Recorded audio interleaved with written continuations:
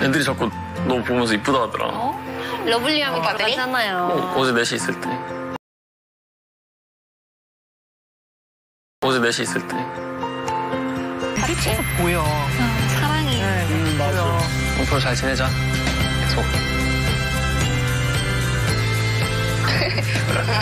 그걸 따라하지 마. 중독성 있어. 아, 염전이 제대로 수술돼서 지금 너무 힘들어. 야, 지금 두 분은 한 맺힌 듯이 밖에서 손 붙잡고 이제 다닐 시기예요. 그니까요. 그러니까. 평소랑 약간 텐션이 비슷해요? 진짜 비슷한 것 같아요. 어, 진짜? 저희 넷이서 본 적 있었거든요. 음. 그때 제가 지연이한테 와 진짜 설렌다 연애하고 싶게 만든다고 그랬었거든요. 원래도 너무 달달해가지고 맞아요, 진짜 달아요. 이렇게 비 오는데 둘이 이렇게 후드 하나 뒤집어 쓰고 가는데 어메. 영화 같은 거예요. 너에게는